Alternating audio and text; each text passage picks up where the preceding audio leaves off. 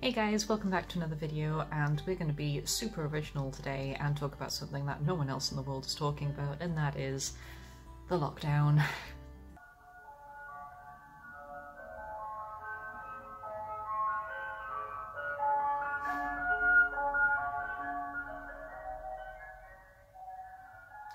A lockdown where the ice cream man is still very prominent around here for some bizarre reason.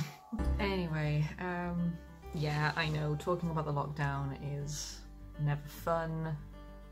It is not something that I particularly really wanted to talk about, but I don't know, I was just having a really down day.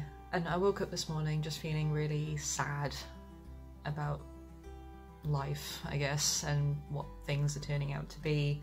And I just kind of wanted to get some stuff off my chest because I don't know, this isn't going to be a rant and this isn't going to be a sob story. I've just, I don't know, I've been doing a lot of thinking and I've learned some stuff about myself during lockdown that I never expected because that's the thing, I'm filming this on the, I think that shows how super organised I am at the moment. As of filming this today, it is the 15th of May, which is Friday. I upload on Saturday, so um, filming this today to upload tomorrow and then Sunday it is my birthday. I am turning 27. I am turning 27, and by that point, you'd think, oh well, you know, you're nearly in your 30s. Nearly in your friggin' 30s.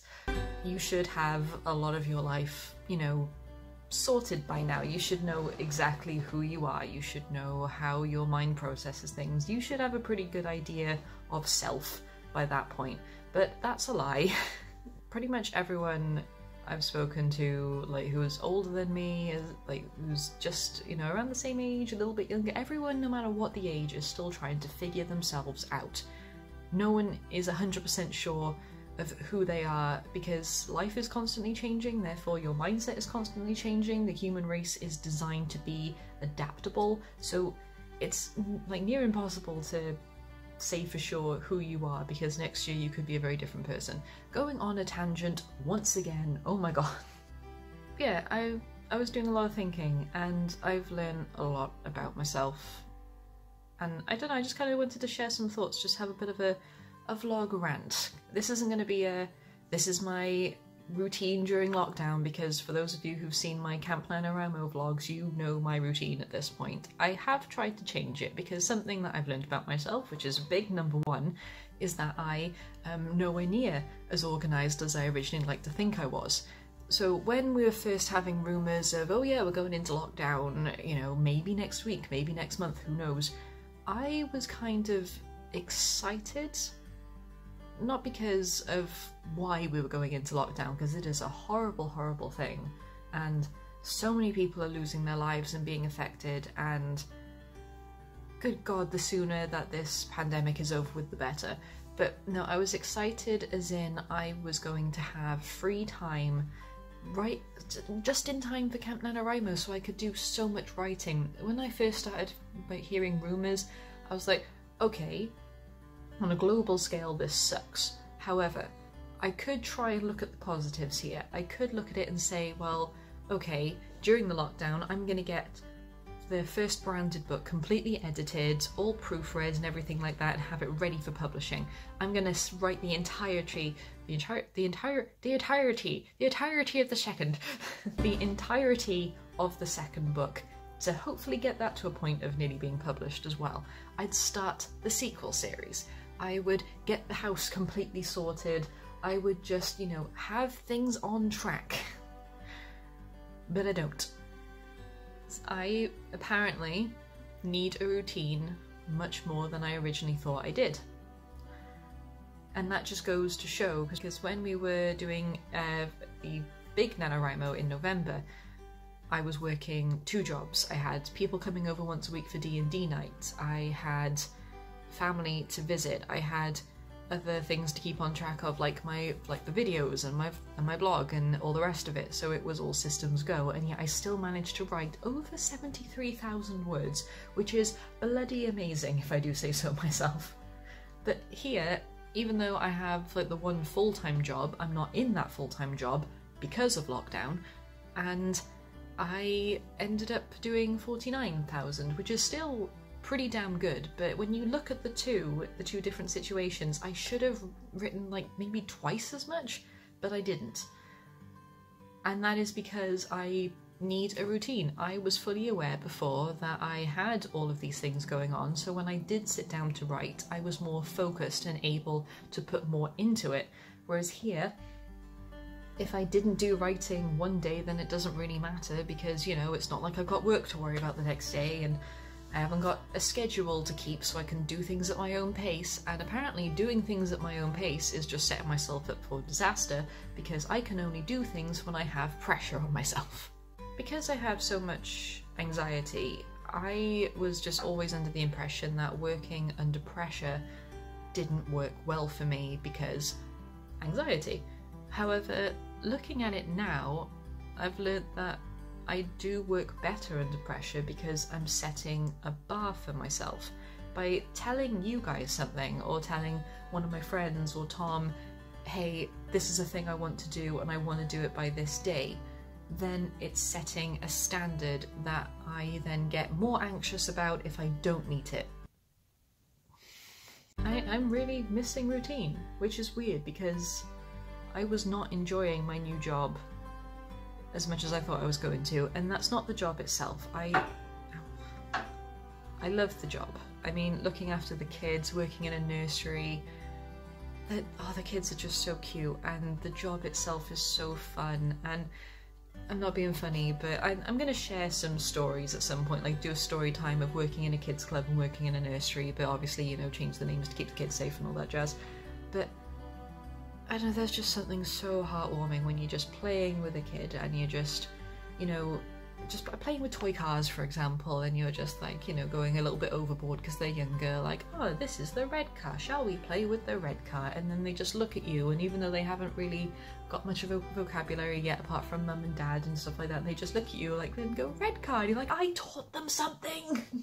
but no, what was hitting me with the job was I started, I loved it, the people were great, I was in this location, I was fine. And then they say, oh, by the way, someone in a different location is going on maternity leave, so you need to go there for a few months. I hope you're okay with that. And I was not okay with that, but you know, new job, trying to make first impressions, so obviously I bit my tongue, like, yes, I'm totally okay with that. And then I go there, and my new boss is someone who used to give me hell in school, and the person that I'm covering for maternity leave also gave me hell in school. And that just knocked me right back down and made me think, I don't like this job, I don't want to be here anymore, this was a mistake, I should have stayed with the previous two jobs, even though the one shop job I had has been made redundant because that shop is closed down now. Oh my god. And it was just such a massive emotional and mental setback. And this girl, this girl, something else that I've learned about myself in lockdown, I hate this fringe. I hate that I had it cut in in the first place. So much regret, and I can't even blame quarantine hair because I did this before the quarantine even started. But yeah, anyway, back on track. So yeah, I was under the impression that I just really didn't like my job anymore because of these people, but now I've had time away and I've had time to think. And I realised that I do still love this job so much I still love the kids. I still love the activities we do. I still love the atmosphere of being in a nursery where you're just seeing these little sponge minds grow and they're just so cute. It's just the people. It's just the, that one person, because obviously the one's on maternity leave now, so it's just that one person. And I'm not going to be there forever. September, I think they said, I'm going back to the other location. I'm going back to my people it's okay. It is okay. And I've kind of become accepting about that. Not everything in lockdown has to be negative. I mean, there are negative points. Like, I'm an introvert by nature, so it's not like I'm sitting here going, oh my god, I can't go to the bar anymore, or anything like that. I, you know, I'm, I'm way past the bar scene at this point. I did my bar thing in uni, burnt out with it, not too fussed about going back. But just little things like if I'm write, I'm writing in the house constantly. I'm in the house constantly. I miss just going to the coffee shop. I miss just that. I miss the change in atmosphere. I miss the change of scenery and even just at the moment, I miss just talking to people, like going outside and you see a neighbour but you have to like shout at them across the street. It's not the same and I miss my friends so much. Like once a week they come over to our house for a D&D session and you know, I the, the, night before I'd like do a bunch of baking. Like I'd make vegan cookies for him because a few of them are vegan and vegetarian. So I'd make vegan cookies for him, and I'd make like vegan flapjacks or just you know other like little baking goods. And maybe one of them will come early so they can have some of like our dinner as well. And then everyone joins in, and it's just so much fun, and you can have a laugh and. It's just you, you play off each other amazingly, and even though we still do it online with our headsets, and sometimes we'll have um, their cameras up to see their faces, but it's just not the same. it's not the same, and even like my family, I again when the lockdown started, I thought, okay, well obviously I'm going to miss my family, but I don't really see them that often. I mean, still, I say that it was still like once a week, but you know, like my dad's side, I only see him like once every two weeks or something like that because he lives further away and we, we all work now. My mum, I'd see her on the weekends. When, when I was working in the kids club, it was her kids club, so I was seeing her all the time in work then. Obviously, changing jobs, so I saw each other less. So I thought, okay, we're still seeing each other once a week, so it won't be too bad. My granddad, even before, since I moved out, he started calling me at five o'clock every day for us to have a little daily chat. And that was like when I moved out. That was when I moved out in uni, so that's not just a lockdown thing. And I thought, it'll be okay. But it's not. I miss my mum so much. I am more of a mama's girl than I ever thought I was. I miss her so much. I miss my dad. I miss my stepmom. I miss my sisters, my my aunts, my cousins, my granddad. I I miss them all so much. I really, really do. And Tom's been great. Tom has been great. I mean, I miss his family as well. His family are amazing. Tom's been great. He's really kept my spirits up. We've gotten closer, I feel like, and it's so weird to think that this time last year we'd only been married a month and now we're married a year and it's it's crazy. um, I miss people. I I'm still a big introvert. That has not changed. However, I do realise that I miss people and interactions far more than I ever thought I would, which makes me feel lucky when it comes to YouTube videos and, you know, just some type of contact. And even like last week when we had VE Day down here and we had like a little street party, which ended up just being a few neighbours sitting on their doorsteps, waving at each other and, you know, yelling across the street, oh, so how are you getting on? Oh, not too bad. Go back to work yet? Nah, working from home. And that was pretty much it, but that's all you needed. It was such a pick-me-up. uh, I don't know when I'm going back to work. There's so many rumours going around that we're going to be trying to open schools and childcare, things like that, by the 1st of June. I am extremely skeptical whether that's actually going to be a thing or not, and I, I don't see us going back until after the summer holidays, to be honest. So this turned into a bit of a thing, I'm sorry.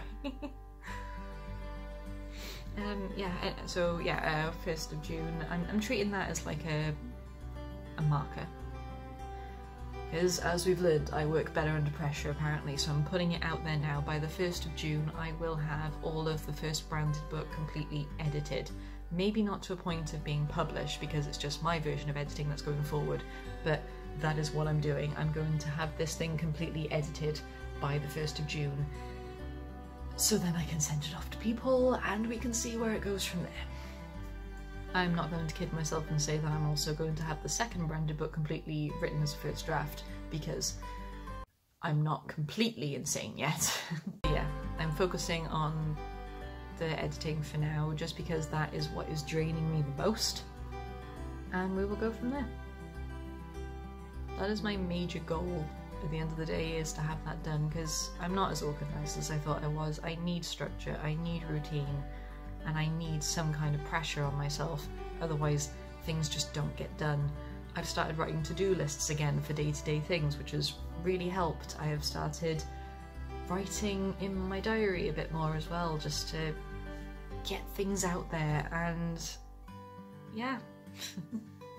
I am really sorry that this video ended up being so weird and so unfocused. I did not have a plan going into this video, I just wanted to talk and rant and just get some stuff off my chest and I do feel like it's helped. But one major thing that I've learnt about all of this is that it is 100% completely okay to not be okay. I have had that drummed into my head from the start. It is okay not to be okay, and it is still something that I am struggling with, but I'm getting there. It is okay to want to cry every now and again. It is okay to feel like you just don't want to get out of bed. It is okay to feel like you haven't done enough. But at the end of the day, we're all in this together, we're all doing something and we're all trying. We all know that things need to get done and we all know that eventually things will get back to normal and we all know that we are trying our best in some right. it's okay to not be okay because it will be okay at some point further down the line. Again, I'm sorry that this video ended up being so weird. Um, after lockdown, I think I'm gonna have a lot more of my priorities in order. I have a feeling that this is gonna change me for the better, and I'm kind of okay in looking forward to that. I, I don't know, this ended on a bit of a weird note and I don't really know how to end this video now, so I will just end it. I hope you guys are doing okay. Let me know how you're doing in the comments below. I really want to know. If you just want someone to talk to, send me a message, leave a comment. If you just want to rant, go ahead. You know, people will listen. If you even if you don't want people to listen, just getting it out there will help. And just try something new. Anything. Try my crappy donuts if you want to. God knows they ended up being awful. I was trying to kid myself so much in that video. They still tasted good and I liked them, but we can all admit that was a failure. uh, but yeah, ending the video. This was a rant, this was weird, and I'm sorry, but I'm also not sorry. Because I'm okay with not being okay right now. I have my goals, I have some kind of a plan in order, and I'm just going to run with it and I hope you guys are doing the same and I hope you're doing well, I hope you're staying safe and I hope you are just owning whatever it is you do, I hope you're owning it. I will see you in the next video. Goodbye, my scribblers.